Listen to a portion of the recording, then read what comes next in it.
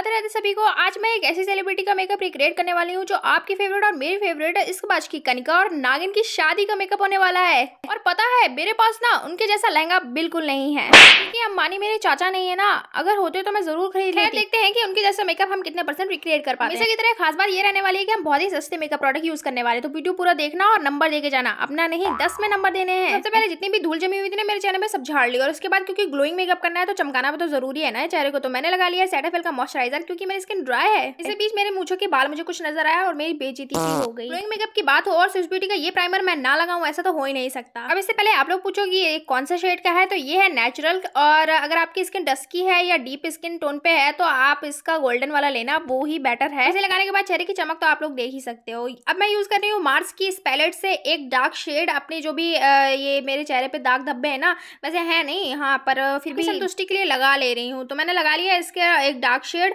और इसके बाद इसे करूँगी अच्छे से ब्लेंड और देखो ब्लेंड करने के लिए मैं मुझे सबसे ज़्यादा जो ब्यूटी ब्लेंडर पसंद है ना वो प्रॉस का है। ये मेरा फेवरेट फेवरेट फेवरेट है फट गया है पर मैं इसे छोड़ नहीं रही हूँ और ना मैं इसे छोड़ूँगी जब तक मैं इसकी जान नहीं ले लेती हूँ क्योंकि उनका मेकअप बहुत ग्लोइंग था इसलिए मैंने यहाँ पे मामार्थ का फाउंडेशन लिया उसके बाद एलेगल का एक डार्क शेड का फाउंडेशन लिया।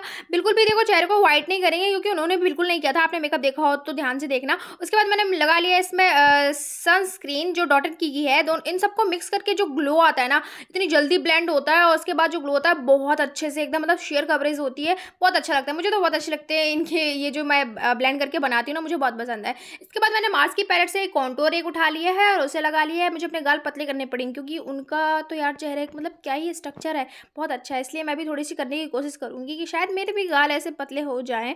कोशिश तो कर ही सकते हैं हम। उसके बाद इसके दो शेड मैंने मिला के अपना शेड का कंसीलर बना लिया है। मतलब जहाँ जहाँ मुझे हाईलाइटिंग करनी है ना, वहाँ वहाँ के लिए बना लिया है। दोनों शेड को मिक्स किया है। एक येलो का था और एक थोड़ा सा कूल टोन था। इसलिए मिक्स करके ना बिल्कुल परफेक्ट शेड का बन गया ये। इसे लगा लिया इसके बाद इसे अच्छे से करूँगी ब्लैंड नाक के ऊपर भी लगा लेना थोड़ी भी, भी लगा लेना क्योंकि उनकी नाक और थोड़ी थोड़ी कुछ मतलब ज़्यादा दिख रही थी इसलिए मैंने लगा लिया। इसके बाद दो शेड मिक्स करके और इसमें लगा लिया मैंने पैक का मेकअप मिक्सर इनको मिलाकर मैंने बना लिया है एक ब्लश जो कि थोड़ा बहुत उनसे मिलता जुलता है। जो पैक का मेकअप मिक्सर मैंने मिलाया ना इससे ना बहुत अच्छी कंसिस्टेंसी हो जाती है बहुत अच्छे से ब्लेंड हो जाता है और आप लोग देख ही सकते हो कितने बढ़िया से ब्लेंड हो रहा है। उसके बाद ले लिया मैंने शुगर का लूज पाउडर बनाना पाउडर भी जिसे कहते हैं। ये बनाना शेड का है और इसे अपने आँखों के नीचे पूरे मुँह पे अच्छे से लगा लेना है ताकि मेरा मेकअप सेट हो जाए और कहीं भागे ना जाए तो मैं आई मेकअप हमेशा पहले ही करती हूँ लेकिन इस बार मैंने बाद में इसलिए किया क्योंकि आई मेकअप बहुत ज़्यादा सिंपल था उनका और मुझे पता था कि ज़्यादा ताम झाम नहीं करना है इसलिए मैंने कहा बाद में कर ज़्यादा प्रॉब्लम मुझे आई आईब्रो में क्योंकि उनकी आईब्रो बहुत अच्छे शेप की एकदम पतली थी और मेरी बहुत ज़्यादा मोटी क्योंकि मैं पार्लर में नहीं बनाती हूँ इसलिए थोड़ी सी प्रॉब्लम आई। उसके बाद मैंने ले लिया एक डार्क ब्राउन डार्क ब्राउन नहीं थोड़ा सा मीडियम ब्राउन है और उससे थोड़ा सा और मीडियम ब्राउन मिला के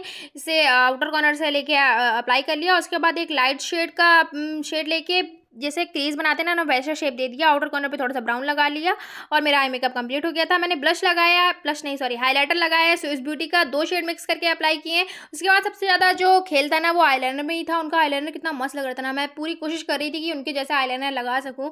अब आप लोग ये बताओगे कि मैं उनके जैसा कितना परसेंट लगा पाई। उसके बाद मैंने मस्कारा लगा लिया एनवाई बे का और ये निक्स का सेटिंग स्प्रे है, ये ग्लोइंग वाला है, इसलिए मैंने इसे अप्लाई किया। फिर अपने लिप्स को आउटलाइन किया है ब्लैक ब्लैक कलर के, कह रही हूँ ब्राउन कलर के।